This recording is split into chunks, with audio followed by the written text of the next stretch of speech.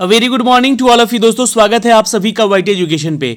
दोस्तों, आज के इस वीडियो में हम लेकर आए हैं टॉप 45 एमसीक्यूज क्योंकि कल बहुत सारे छात्रों ने मैसेज किया कि वन लाइनर नहीं चाहिए उन्हें। तो चलिए ये क्यूज लेकर आए हैं आपके लिए। 45 क्वेश्चन का क्यूज है, जहाँ पर फिजिक्स केमिस्ट्री और बायोलॉजी से रिलेटेड जनरल साइंस के ये प्रश्न होते हैं, जो कि बार बार आपकी परीक्षाओं में पूछे गए हैं। आप कितना उत्तर सही कर पाते हैं, ये कमेंट बॉक्स में कमेंट करके हमें ज़रूर बताएँगे। ये वीडियो आपके हर वो एग्ज़ाम चाहे आप बिहार दरोगा के मेंस बिहार पुलिस या फिर आरआरबी एसएससी एनटीपीसी रेलवे की किसी भी सेक्टर की तैयारी कर रहे हैं आप तो ये क्वेश्चन आपके एग्ज़ाम के पॉइंट ऑफ़ व्यू से बहुत महत्वपूर्ण है। इसका पीडीएफ आपको वाइट एजुकेशन पे शेयर कर दिया जाएगा। वीडियो खत्म होने के बाद। तो वीडियो को पूरा देखिएगा, अंत तक और अपने आंसर्स को भी करने की कोशिश करेंगे यहाँ पे। दोस्तों, आज का पहला प्रश्न क्या कहता है? ये रहा आपके सामने। शक्ति का मात्रक क्या है? चलिए उत्तर कीजिएगा यहाँ पे नीचे कमेंट बॉक्स में। देखिए, आपको बताना चाहते हैं कि फिजिक्स साइंस में अगर हम बात करेंगे पावर की, है ना, या फिर विद्युत पावर की, है ना, यानी इलेक्ट्रिसिटी पावर की तो वो रेट होता है ये, यानी कि वह दर है जिस पर कि कोई कार्य किया जाता है या फिर ऊर्जा संचरित की जाती है। जी हाँ ये से हम कहते हैं शक्ति। तो इसका जो ऐसा मात्रक क्या होता है, ये पूछा गया है यहाँ पे।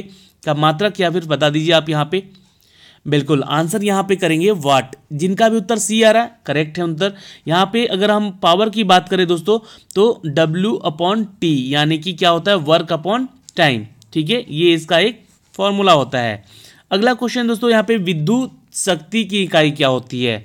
तो अभी मैंने बताया आपको कि विद्युत पावर यानी कि इलेक्ट्रिसिटी पावर की भी जो दोस्तों, यहाँ पे यूनिट होगी, वो भी क्या होगी? तो वाट ही होगी ओके अगला क्वेश्चन देखिए ये क्वेश्चन पूछा गया है आपके बीपीएससी 2018 की परीक्षा में।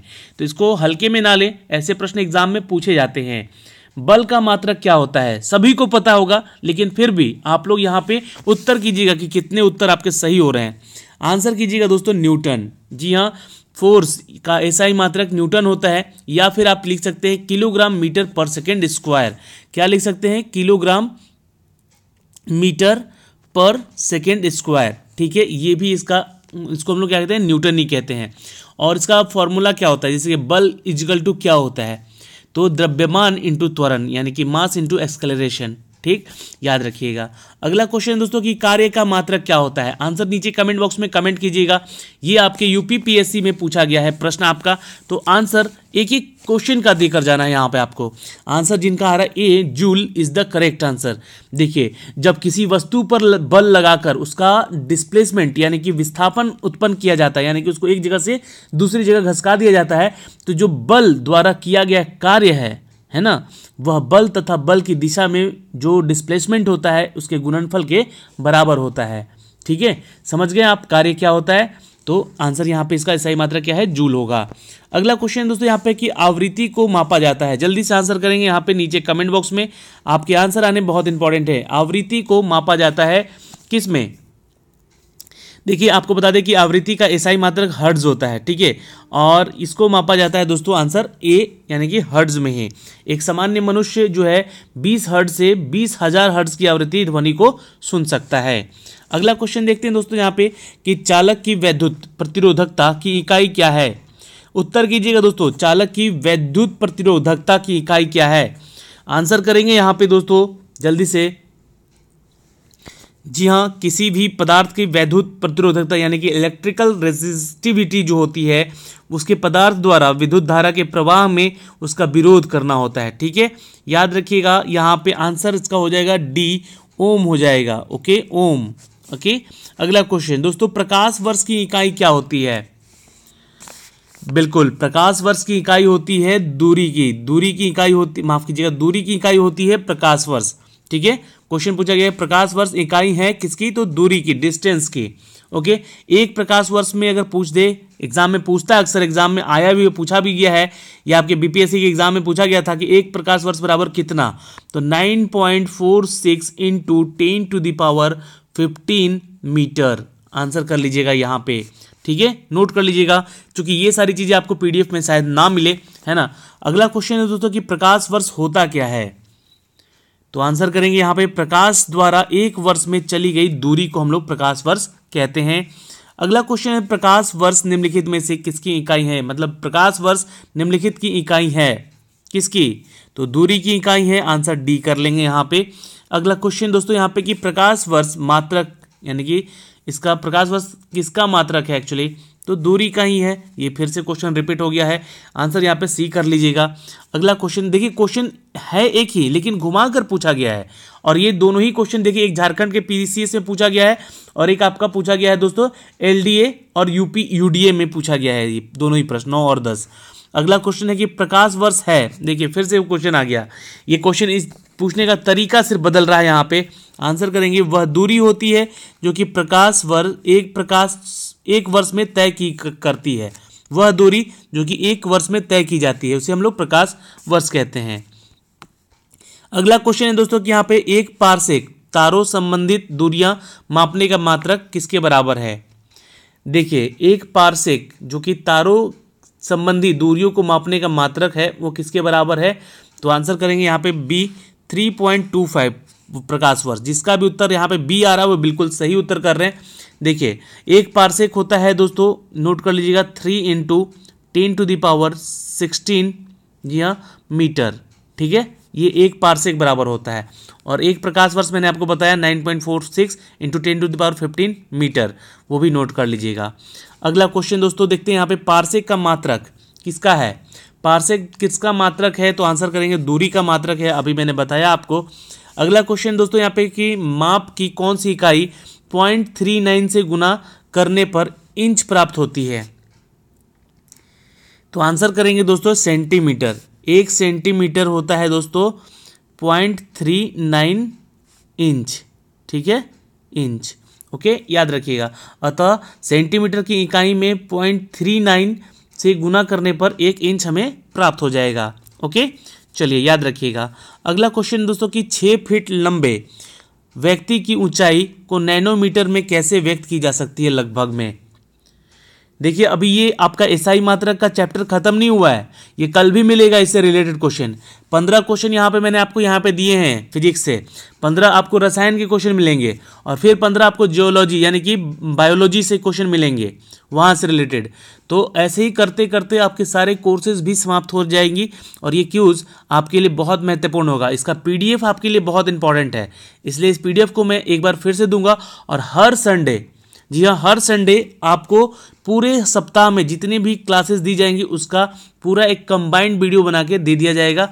उसका पीडीएफ भी उस समय आपको साथ में दे दिया जाएगा ओके चलिए। तो छः फीट लंबे व्यक्ति की ऊंचाई नैनोमीटर में कैसे व्यक्त करेंगे? तो आंसर कर दीजिएगा दोस्तों।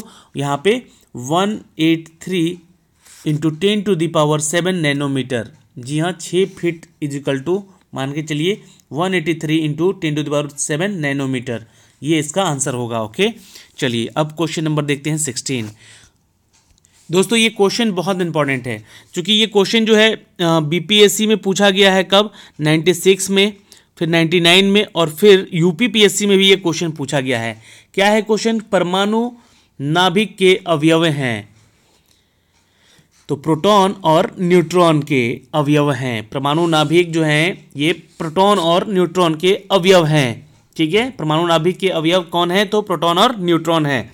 याद रखिएगा क्योंकि देखिए, एटम कहते हैं परमाणु को, पदार्थ का वह लघुत्तम भाग होता है, जिसमें कि पदार्थ के सभी गुण विद्यमान होते हैं। ठीक है? और यह एक रासायनिक अभिक्रिया में भाग भी लेता है। ओके? और परमाणु के केंद्र में एक नाभिक, जिसे हम लोग न्यूक्लियस कहते हैं, जिसे कि प्रोटॉन और न्यूट्रॉन दोनों ही स्थित होते हैं। ठीक है? याद रखिएगा, जो प्रोटॉन होता है ना, वो धनावेशित होता है, यानी कि पॉजिटिविटी होता है उसमें, और न्यूट्रॉन में विद्युत उदासीन कण होते हैं। परमाणु में इलेक्ट्रॉन नाभिक के चारों ओर चक्कर काटता है, उसके कक्ष में, जिन्हें ऊर्जा का स्तर, यानी कि एनर्जी लेवल भी कहते हैं। ये थोड़ा सा ध्यान रखिएगा, इससे रिलेटेड क्वेश्चन आगे अभी पूछे जाएँगे। दोस्तों, यहाँ पे क्वेश्चन है सेवनटीन आणविक संरचना के बारे में निम्नलिखित में से कौन सा कथन सत्य है? एक ऑप्शन और मिलेगा आपको यहाँ पे। ये अब देखिए, अब आप उत्तर कीजिएगा यहाँ पे। देखिए, आणविक संरचना के बारे में निम्नलिखित में से कौन सा कथन सही है? चार ऑप्शन है आपको यहाँ पे। अब इन चार उत्तरों को यहाँ पे सोचिए। थोड़ा सा वीडियो पॉज कर लीजिए और आंसर दीजिएगा। बिल्कुल, आंसर करिएगा दोस्तों सी यहाँ पे। प्रोटॉन और न्यूट्रॉन न्यूक्लियस में होते हैं तथा इलेक्ट्रॉन न्यूक्लियस के इर्द गिर्द चक्कर लगाते हैं। जैसा कि मैंने अभी आपको थोड़ी देर पहले उस क्वेश्चन में बताया। ओके अगला क्वेश्चन है दोस्तों यहाँ पे कि निम्नलिखित में से कौन सा निम्नलिखित में से कौन सा एटम का भाग नहीं है? देखिए क्वेश्चन में बोला कि नहीं है। तो आंसर सोच समझ के दीजिएगा यहाँ पे। ठीक है? बिल्कुल आंसर यहाँ पे कीजिएगा दोस्तों क्वेश्चन नंबर एटीन का। आंसर होगा दोस्तों डी फोटोन जो है, ये एटम का पार्ट नहीं होता है। ठीक है? इलेक्ट्रॉन, प्रोटॉन और न्यूट्रॉन जो है परमाणु के मूल अवयव होते हैं, जबकि फोटोन ऊर्जा का एक बंडल पैकेट कहते हैं इसको, है ना? याद रखिएगा, जो प्रकाश के वेग से चलता है और सभी प्रकार के जो विद्युत चुंबकीय किरणें होती हैं, उसका निर्माण भी मूल कणों से ही होता है। तो फोटोन क्या है? तो एक पैकेट है, बंडल है एक ऊर्जा का, ओके?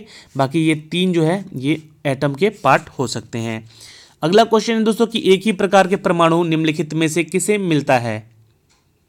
किसमें मिलता है? तो एक ही प्रकार के परमाणु निम्नलिखित में से दोस्तों, यहाँ पे आंसर करेंगे, इट्स अ सी प्रकृत तत्वों में मिलता है। ठीक है? आंसर क्या करेंगे? तो ये देखिए 2011 के बीपीएससी के क्वेश्चन में पूछा गया है प्रश्न। इंपॉर्टेंट है, इसलिए यहाँ से क्वेश्चन बन सकता है एग्ज़ाम में। देखिए, परमाणवीय नाभिक किसने खोजा था? आंसर करेंगे दोस्तों यहाँ पे, परमाणवीय नाभिक किसने खोजा था? तो आंसर होगा रदर फोर्ड ने। ठीक है? 1911 ईस्वी में। याद रहेगा ना? चलिए, अगला क्वेश्चन है दोस्तों यहाँ पे कि एटम में न्यूट्रॉन की खोज किसने की थी? क्योंकि वैज्ञानिकों के भी नाम पूछे जाते हैं एग्ज़ाम में तो इसलिए ध्यान दीजिएगा। आंसर भी कीजिए। देखिए, बहुत लोग आंसर नहीं कर रहे हैं वीडियो देख रहे हैं पर आंसर नहीं कर रहे आप लोग सभी आंसर कीजिए यहाँ पे, ताकि ये चीज़ें आपको याद रह सके। बिल्कुल, झारखंड पीसीएस में पूछा गया है, ये क्वेश्चन आपका 2003 में सही कह रहे हैं और उन्नीस सौ पंचानवे और छियानवे के यूपी पीसीएस में भी पूछा गया है यह प्रश्न कि एटम में न्यूट्रो एटम के न्यूट्रॉन की खोज किसने की थी? तो आंसर कीजिएगा चैडविक ठीक है? रदरफोर्ड ने परमाणु के न्यूट्रॉन के अस्तित्व के प्रस्तावित किया था, लेकिन न्यूट्रॉन की खोज 1932 में याद रखेंगे 1932 में चैडविक ने की थी। इसका पता लगाया था कि जो बेरिलियम है, जिसे हम लोग बीई कहते हैं, बेरिलियम है तथा अन्य परमाणु तथा इसकी अधिक तीव्र गति वाले जो कण होते हैं, वो बॉम बार्डमेंट, जिसे हम लोग बम वर्षा कहते हैं, कि जाए, तब उसमें विद्युत उदासीन कण निकलते हैं, जिसे हम लोग न्यूट्रॉन कहते हैं। ठीक है, न्यूट्रॉन किसे कहते हैं? तो ध्यान रखिएगा, जब तीव्र गति वाले कण क्या बम वर्षा हो और उसमें से विद्युत उदासीन कण निकले तो उस कण को हम लोग क्या कहते हैं? तो न्यूट्रॉन कहते हैं। अगला प्रश्न देखेंगे अब हम। निम्नलिखित में से एक अणु परमाणु कण नहीं है। बताइए, परमाणु का कण नहीं है, अभी मैंने थोड़ी देर पहले बताया। आंसर यहाँ पे कीजिएगा दोस्तों, इट्स अ सी ड्यूट्रॉन, ठीक है? ये भी नहीं है आपके परमाणु का कोई कण। अगला क्वेश्चन दोस्तों, निम्नलिखित में से, युग्मों में से कौन सा एक कण प्रति कण युग्म है। कण जो है एक प्रति कण युग्म है। ये युग्म मिलाया गया है यहाँ पे। तो आंसर कीजिएगा दोस्तों यहाँ पे। देखिए, यहाँ पे ऑप्शन में ये बी है और ये सी है और ये डी है एक्चुअली ठीक है, अब आंसर कीजिएगा। तो आंसर करेंगे दोस्तों इट्स ए इलेक्ट्रॉन पॉजिट्रॉन जो एक कण भी है और एक प्रति कण का युग्म का यहाँ पे दर्शाता है। चलिए अब एक जगह यहाँ पे सुमेलित करना है। ये सुमेलन थोड़ा सा ध्यान दीजिएगा दोस्तों। सूची एक और सूची दो को सुमेलित कीजिए और सूचियों के नीचे दिए गए कूटों का उपयोग करके सही उत्तर दीजिएगा। नीचे कूट दिया गया है इसका लेकिन आपको इसको मिलाना है। तो सबसे पहले मिला लेते हैं इसको है ना? तो देखिए पोजिट्रॉन जी हाँ यहाँ पर अगर हम बात करेंगे दोस्तों आ, सूची एक में अगर हम ज़ीरो मास की बात करेंगे है ना?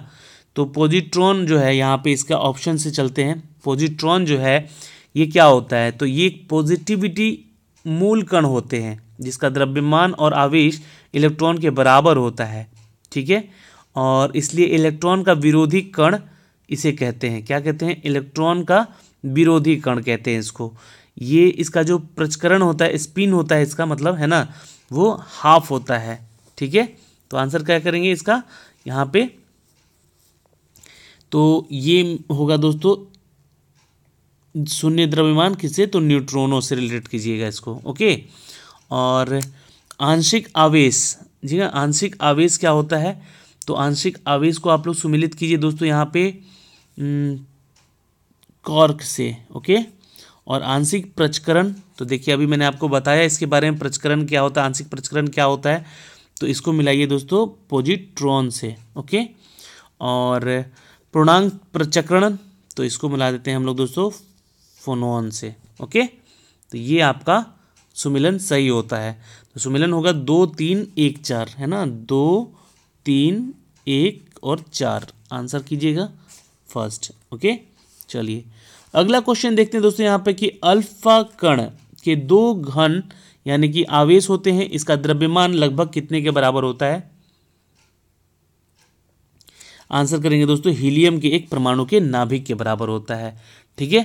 आंसर क्या करेंगे दोस्तों, हीलियम के एक परमाणु के नाभिक के बराबर होता है। अगला क्वेश्चन देखेंगे दोस्तों यहाँ पे, हीलियम के नाभिक में होता है। देखिए, क्वेश्चन अगर आपको टफ लग रहा होगा ना तो क्वेश्चन को सॉल्व कीजिए, समझिए चीज़ों को, क्योंकि बिहार दरोगा के मेंस में अगर ऐसे क्वेश्चन पूछे जाएँगे, क्योंकि ये सारे क्वेश्चन बीपीएससी लेवल के हैं तो मेंस में पूछे जा सकते हैं। हीलियम के नाभिक में होते हैं। चलिए क्या होते हैं दोस्तों? तो दो प्रोटॉन एवं दो न्यूट्रॉन होते हैं। आंसर आपका सी हो जाएगा यहाँ पे, जिनका भी उत्तर सी आ रहा है, सही उत्तर आ रहा है। निम्नलिखित में से किसमें ऋणात्मक आवेश होती है? आंसर करेंगे दोस्तों यहाँ पे, इट्स सी, यानी कि बीटा कणों में, ठीक? अगला क्वेश्चन, परमाणु में कक्षों को भरने के क्रम में नियंत्रित होता है। बिल्कुल, ऑफ़ बाउ सिद्धांत के तहत, यहाँ ऑफ़ बाउ एक जर्मन शब्द है। जिसका अर्थ होता है निर्माण। और यह नियम है, तत्वों के इलेक्ट्रॉनिक्स विन्यास को लेकर लिखने की एक आसान विधि है, प्रदान करता है। ठीक है? ऑफ़ बाउ सिद्धांत। अगला क्वेश्चन है दोस्तों यहाँ पे कि रासायनिक तत्व अणु के संदर्भ में चुंबकीय क्वांटम संख्या का संबंध है। क्वेश्चन समझिएगा, रासायनिक तत्व के अणु के संदर्भ में अगर हम बात करें तो चुंबकीय क्वांटम जो है, वो संख्या का संबंध किससे है? तो अभिविन्यास से आंसर क्या करेंगे? ए कर लेंगे, इसका उत्तर ए हो जाएगा। अगला क्वेश्चन दोस्तों यहाँ पे कि जिस तत्व के परमाणु में दो प्रोटॉन, दो न्यूट्रॉन और दो इलेक्ट्रॉन हो, उस तत्व के द्रव्यमान की संख्या कितनी होगी? बिल्कुल आंसर करेंगे यहाँ पे चार होगी। नोट कर लीजिएगा, ये भी बीपीएससी पूछा गया प्रश्न है आपका। द्रव्यमान की संख्या कैसे निकालते हैं? तो प्रोटॉन प्लस न्यूट्रॉन। तो अगर यहाँ पे दो दो दिया गया है तो two plus two equal to four हो जाएगा। ओके? तो चलिए, अगला क्वेश्चन देखते हैं। अब ये क्वेश्चन आपको मिलेंगे दोस्तों किससे? तो बायोलॉजी से। तो बायोलॉजी से प्रश्न है यहाँ पे। पहला प्रश्न क्या कहता है? जंतु विज्ञान, यानी कि जियोलॉजी कहते हैं इसको। ठीक है? का अध्ययन करता है। आंसर कीजिएगा, जीवित और मृत जानवरों का ये अध्ययन करता है। देखिए, मैं कुछ आपको वर्ड बताऊँगा, जैसे कि आपको उस अध्ययन के बारे में पूछेगा एग्ज़ाम में। है ना? जैसे कि एपी कल्चर तो व्यापारिक स्तर पर शहद उत्पादन तथा फ़सलों में परागण हेतु मधुमक्खी का पालन करना। एवी कल्चर तो पक्षी पालन को कहते हैं। एक्वा कल्चर जलीय जीवों का संवर्धन, ठीक है? ऐसे बहुत सारे टॉपिक हैं जो कि मैं आपको एक पूरा नोट्स बना के दे दूँगा उसका। उसको आप लोग पढ़ लीजिएगा, उसका पीडीएफ भी आपको शेयर कर दूँगा, ठीक है? तो चलिए, जंतु विज्ञान का अध्ययन है दोस्तों, जीवित और मृत जानवरों का। आंसर सी करेंगे। अगला क्वेश्चन है, सुमेलन करना है यहाँ पे थोड़ा सा और कूट बताना है कौन सा सही होगा आपका। तो चलिए कूट मिलाते हैं यहाँ पे। तो देखिए, अगर यहाँ पे आप मिलाएँगे दोस्तों तो इसको मिलाइएगा तीन से पक्षी का कहते हैं ऑर्निथोलॉजी ठीक है, जिसका अध्ययन करते हैं। और वंशागति का तो ये है जेनेटिक्स इसको हम लोग कहते हैं। पर्यावरण का तो इसको कहते हैं दोस्तों इकोलॉजी ओके और जीवाश्म का तो पेलियो बायोलॉजी ठीक है? पेली बायोलॉजी पेलियो बायोलॉजी ओके तो आपका ये जो सुमेलन है, यानी कि तीन, चार, दो, एक, आंसर आपका क्या हो जाएगा? बी हो जाएगा okay B is the correct answer अगला क्वेश्चन है दोस्तों यहाँ पे कि फूलों के अध्ययन को क्या कहते हैं? तो देखिए, आंसर करते रहिएगा यहाँ पे मैंने आपको बताया पक्षियों का। तो पर, पक्षियों को कहते हैं कि ऑनिर्थियोलॉजी ठीक है? वंशागित का जेनेटिक्स पर्यावरण का इकोलॉजी तो वहीं फूलों के अध्ययन को क्या कहते हैं? तो इसको कहते हैं इट्स अ बी एंथोलॉजी क्या कहते हैं? एंथोलॉजी आंसर हमारा बी हो जाएगा। अगला क्वेश्चन है दोस्तों कि कीटों के वैज्ञानिक अध्ययन को क्या कहते हैं? और बहुत सारे टॉपिक हैं जो कि आपको पढ़ने होंगे, इनके वैज्ञानिक नाम, उसके अध्ययन, ये सारे चीज़ें मैं आपको करके दे दूँगा, है ना? इसका एक अलग से वीडियो भी बना दूँगा। तो कीटों के वैज्ञानिक अध्ययन को कहते हैं, दोस्तों, आंसर कीजिएगा इट्स बी एंटोमोलॉजी क्या कहते हैं इसको? एंटोमोलॉजी आंसर बी हो जाएगा यहाँ भी। अगला क्वेश्चन है, दोस्तों, कि निम्नलिखित विषयों में से कौन सा विषय जनसंख्या एवं मानव जाति के महत्वपूर्ण आंकड़ों में अध्ययन से संबंधित है? आंसर कीजिएगा, दोस्तों इट्स जननांकी। आंसर क्या करेंगे? It's C okay? चलिए, याद रखिएगा, जननांकी। अगला क्वेश्चन देखेंगे दोस्तों, यहाँ पे क्वेश्चन नंबर थर्टी सिक्स विभिन्न संस्कृतियों के वैज्ञानिक विवरण के तुलनात्मक अध्ययन को क्या कहते हैं? तो इसे कहते हैं दोस्तों इथेनोलॉजी क्या कहते हैं इसको? इथेनोलॉजी ठीक है? याद रखिएगा, इनसे रिलेटेड क्वेश्चन है। और अगर आपसे पूछे कि ये इथेनोग्राफी क्या है तो किसी विशिष्ट संस्कृति का अध्ययन करने का है। ठीक है? विशिष्ट, है ना? स्पेशल और इथोलॉजी इथोलॉजी का पूछे तो इथोलॉजी का तो इथोलॉजी मानव सहित सभी जंतुओं का व्यवहार का अध्ययन करना, है ना? उसके व्यवहार का। और एथिक्स एथिक्स है नैतिक आचार तथा कर्तव्य के मनोवैज्ञानिक का अध्ययन करना, ठीक है? एथिक्स का। तो ये सारी चीज़ें पूछ सकता है एग्ज़ाम में नोट कर लीजिएगा। अगला क्वेश्चन है, जैविक जगत में होने वाले कार्य, गुण एवं पद्धति के अध्ययन से इस ज्ञान को मशीनी जगत उपयोग करने को क्या कहते हैं? बिल्कुल इसे कहते हैं बायोनिक्स क्या कहते हैं इसको? बायोनिक्स कहते हैं। आंसर आपका ए हो जाएगा, है ना? B I O N I C S जैविक जगत में होने वाले कार्य, गुण एवं पद्धति पर अध्ययन करना कहलाता है। ठीक है? चलिए, याद रखिए, और एक होता है बायोनोमिक्स है ना? बायोनोमिक्स तो वो जीवधारियों के, उनके वातावरण के साथ संबंध का अध्ययन बताता है। ओके? चलिए, अगला क्वेश्चन है दोस्तों यहाँ पे चलिए आंसर कीजिएगा, पैलियो वनस्पति के अंतर्गत अध्ययन करते हैं। पैलियो वनस्पति के अंतर्गत अध्ययन करते हैं दोस्तों। आंसर करेंगे यहाँ पे इट्स अ डी इनमें से कोई नहीं। चूँकि पैलियो वनस्पति या फिर पैलियो बॉटनी कहते हैं इसको, है ना? उसके अंदर, अंतर्गत जो है हम लोग किसका अध्ययन करते हैं तो पादप जीवाश्मों का, है ना? याद रखिएगा। पादप जीवाश्मों का अध्ययन हम लोग करते हैं। ओके, जिसे हम लोग फोसिल प्लांट कहते हैं। अगला क्वेश्चन दोस्तों, रेशम कीट का पालन को कहते हैं। क्या कहते हैं दोस्तों? बिल्कुल आंसर करेंगे हम यहाँ पे सेरी कल्चर ठीक है? इसको हम लोग सेरी कल्चर किसको कहते हैं? तो कच्चे रेशम के उत्पादन हेतु रेशम कीट का पालन करना। एपीकल्चर, अभी मैंने बताया आपको कि व्यापारिक स्तर पर शहद उत्पादन का और फ़सलों के परागण का, मधुमक्खियों का पालन करना। और हॉर्टिकल्चर तो पुष्प और फल के देने वाले पौधे का अध्ययन करना। ठीक है? और फ्लोरिकल्चर तो ये सजावट के लिए काम आने वाले पुष्पों का अध्ययन करना। चलिए, अगला क्वेश्चन है कि मधुमक्खी का उपयोग किया जाता है। अभी मैंने थोड़ी देर पहले बताया आंसर कीजिएगा जल्दी से। बिल्कुल आंसर करेंगे दोस्तों इट्स सी एपीकल्चर जिनका उत्तर सी आ रहा करेक्ट है यहाँ पे। निम्नलिखित में से कौन सा सही सुमिलन नहीं है? है ना तो क्वेश्चन बोल रहा है कि नहीं है सही सुमिलन। तो आंसर कर दीजिएगा दोस्तों यहाँ पे कि आपका सही सुमेलन कौन नहीं है। तो वो सी नहीं है। सब्जियों की खेती को हॉर्टिकल्चर से ये रिलेट कर दिया है। ठीक है, हॉर्टिकल्चर जिसे बागवानी वगैरह कहते हैं। कृषि का जो यहाँ पे एक विशेष पद्धति है जिसके तहत फलों की कृषि, जिसे हम लोग पोमोलॉजी कहते हैं। क्या कहते हैं? पोमोलॉजी। और सब्जियों की कृषि को तो ओलेरी कल्चर कहते हैं इसको। ठीक? और फूलों के तो फ्लोरी कल्चर कहते हैं। तीनों का अलग हुआ यहाँ पे तो सब्जियों का क्या हो गया? तो ओलेरी कल्चर होगा, अगर यहाँ पे होगा तो क्या होगा? Olericulture. ठीक है? बाकी ये तीनों सही है। अगला क्वेश्चन देखते हैं। निम्नलिखित युग्मों में कौन सा सुमेलन फिर से सही नहीं दिया गया है? बिल्कुल। पीसी कल्चर को यहाँ पे कीड़ा का लख बताया गया है। लाख का कीड़ा। पीसी कल्चर जो है मछलियों के पालन से संबंधित है। यहाँ पे मछली होता तो ये उत्तर सही होता। है ना? चलिए, आंसर याद रखिएगा, पीसी कल्चर यानी कि मछलियों का। अगला क्वेश्चन दोस्तों, कि निम्नलिखित में से कौन सी जोड़ी सुमिलित है?